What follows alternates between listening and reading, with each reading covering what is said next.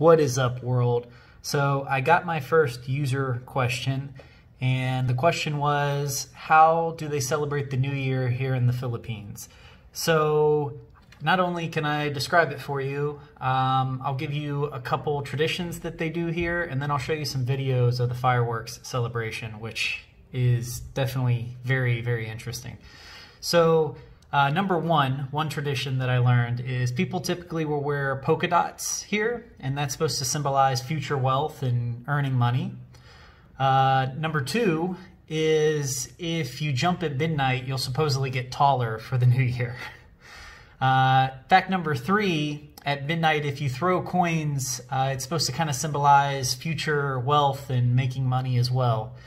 Uh, you also can kiss your partner at midnight. Um, those kind of you know traditions also exist here. Uh, the fireworks are just amazing. Um, they shoot them in every direction. They're going every which way. Uh, it is just amazing. So let me stop talking about it. Let's just check it out.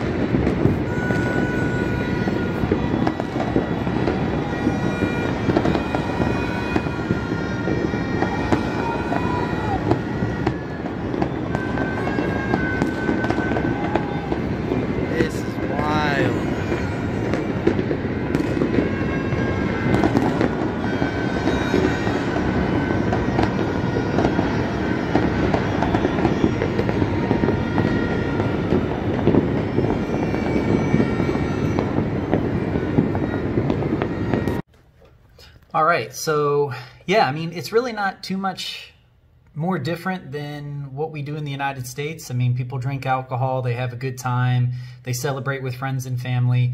Uh, the fireworks, like you saw, are just insane. Um, I don't think they have the same regulations that we have in the United States, even though even people in the United States end up hurting themselves. Um, I believe there were 164 injuries here uh, for the new year, which was like down from 249 injuries last year. But I mean, you could just hear ambulances and fire trucks going like crazy uh, all through the night and even a little the next day. So uh, yeah, uh, that was a great question. Um, yeah, if you guys have any questions, send me a message or put them down in the comments, and I'll be more than happy to answer them. I might even have some footage. So uh, keep safe out there, and I got nothing but love. Peace.